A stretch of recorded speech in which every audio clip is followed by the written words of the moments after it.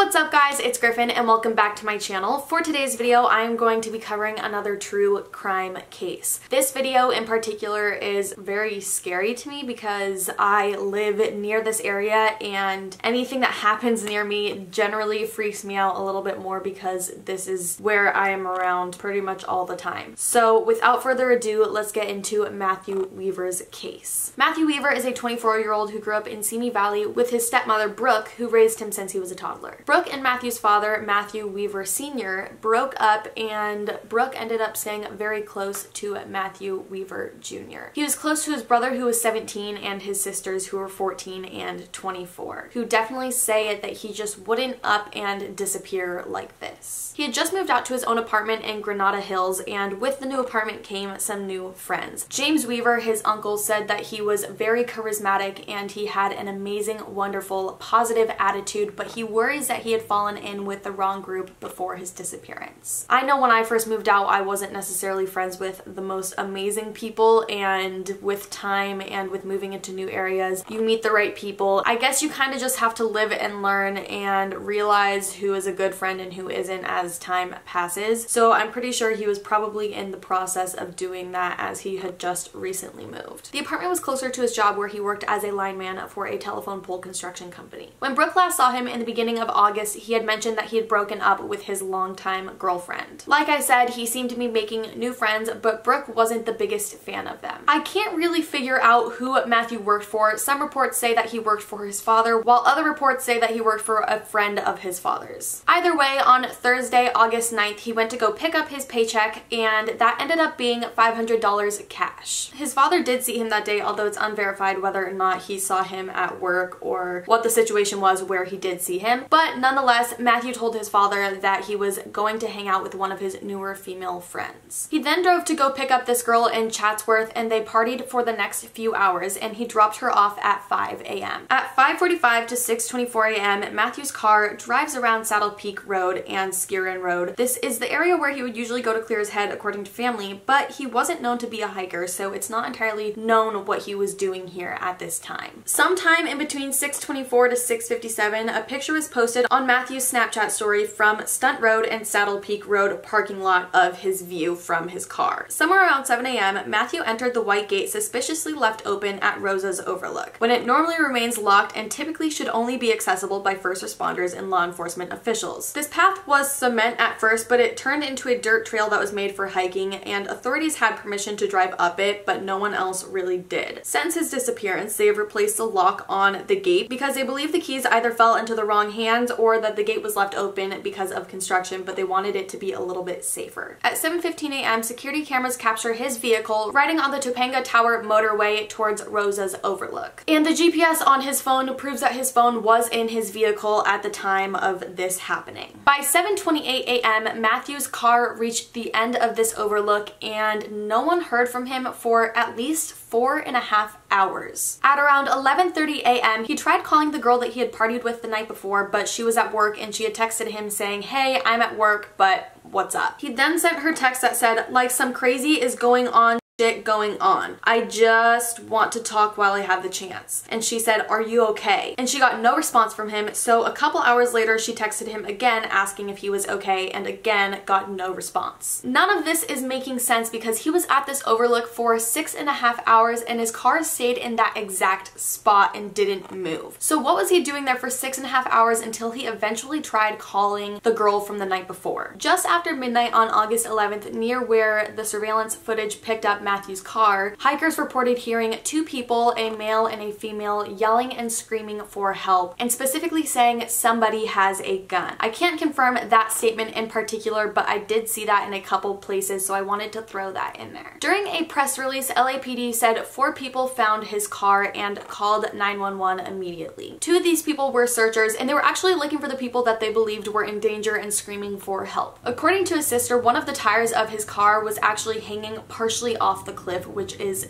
extremely terrifying. Based on all the damage that they found on his vehicle, they assume that he was driving up this terrain at a very high speed. His front bumper was completely off, his trunk was wide open, and the lock inside the trunk was either broken from the drive up or the tow it down. And his car ended up taking three tow trucks to get it completely down. At approximately 1.30 a.m., law enforcement heads to where Matthew's car is located. They then do a search with helicopters, infrared at night, and they dispatch canine units. These canine units tracked Matthew's scent onto the road and then lost his scent pretty much right after they started tracking it. His car was registered to his father, so authorities went to his father's door at around 5 a.m. and asked him what his car was doing there. He then told the police that he had given that car to Matthew Jr. to use. When he told police about that, they told him that near the car that morning there had been reports of cries for help and they asked him if he knew where Matthew was. That led to his father contacting Matthew's landlord who told him he hadn't seen him for the past few days. He then contacted his ex-wife and Matthew's stepmom, Brooke, who he was hoping Matthew was with but she hadn't seen him either. Immediately, Brooke was concerned. She didn't feel like he would up and disappear like this. It was completely unlike him, and she said that he wouldn't let his siblings wonder if he was dead like this or not. He would at least let them know if he was okay, and at this point, if he is still alive, she believes that he is being held against his will. She reported him to the Lost Hills Sheriff's County Department, but then the case was transferred to LAPD's Missing Persons Unit. Since Matthew's disappearance, authorities and family friends have conducted so many many searches, but they have turned up with no evidence. Even in his car, there is no proof of him being there. None of Matthew's personal items have been found, and that includes his car keys, his wallet, his cell phone, and his clothing. Luckily, Matthew's cell phone was still linked to his ex-girlfriend's account, so Brooke was able to access it right away. The last messages sent on his phone were the messages that I was referring to earlier. I will insert them on the screen here so you know what I'm talking about just as reference again. And his phone was either turned off or it died, but there has been no confirmation of which it was. Matthew's stepmother, Brooke, does not know the identity of the girl that he was last seen with, but law enforcement has cleared her of any involvement with this case. Now let's get into the theories of this case. The first theory is that his car broke down and he tried walking his way down and got stuck or hurt somewhere. This theory does make some sense, however, wouldn't it be likely that if he did get stuck or hurt somewhere, that they would have found him in these searches or some sort of DNA or physical physical evidence to prove what happened. None of this was found and there's also no security footage showing him walking down the path that he came up. So that theory to me is highly unlikely. Some people think that he dropped the girl that he was partying with the night before off at her home and then went to go continue partying by himself. A few people think that maybe this party was actually happening at that canyon where they were and that's why the gates were open. The people who don't believe that he went back to go party there believe that he went and partied elsewhere and he got in some sort of trouble. They think that someone locked him up in the back of his car and that's why the entire lock was broken. They took him up to this canyon and that's why his phone pinged him up there as well and they drove his vehicle so they couldn't be tracked. This is where they could have gotten rid of him but again it's likely they would have found him in searches. I don't really know how to explain this. But maybe in this situation that's why he tried calling that girl and maybe his texts were so jumbled because he was panicked and rushed. However, why would he be trying to call this girl and not his family or 911? It just doesn't make sense. The third theory is from the Malibu Canyon residents who believe that there could possibly be a serial killer on the loose. There has been an increase of violence in Malibu Canyon and there have been several people who have been shot or murdered in that area. This seems to make a lot of sense considering the hikers heard someone calling for help and saying that someone had a gun. But what doesn't make sense is why are these hikers hiking